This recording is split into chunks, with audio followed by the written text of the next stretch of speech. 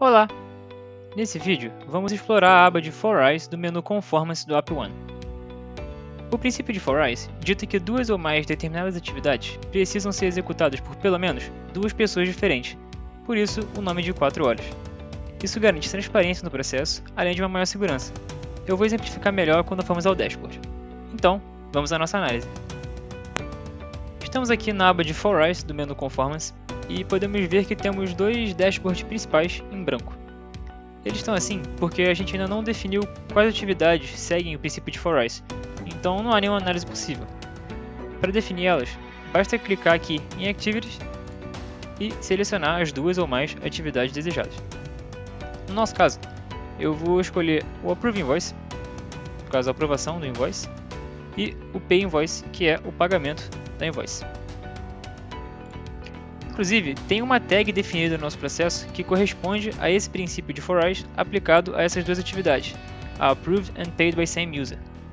Ou seja, nós poderíamos definir tags para verificação desse princípio nos casos, mas o diferencial dessa aba de for each é, em relação às tags, à possível criação das tags, é, reside no fato de justamente não ser necessário nenhum tipo de pré-processamento para que esse princípio possa ser rastreado além da maior facilidade e liberdade ao escolher as atividades é, a serem investigadas, já que seria apenas uma questão de alterar aqui na caixinha as atividades desejadas.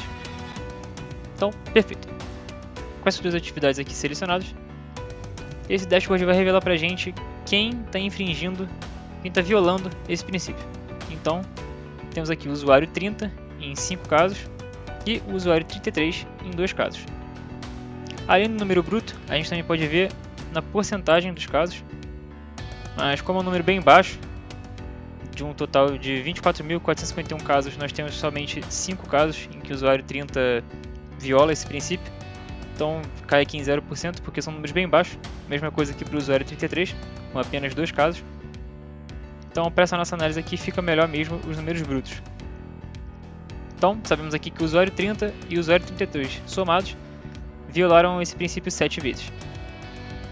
E aqui então a gente pode passar para o segundo dashboard da aba de Eyes, que é o que vai nos contar em quais, por diferentes visões, em quais são esses casos aqui.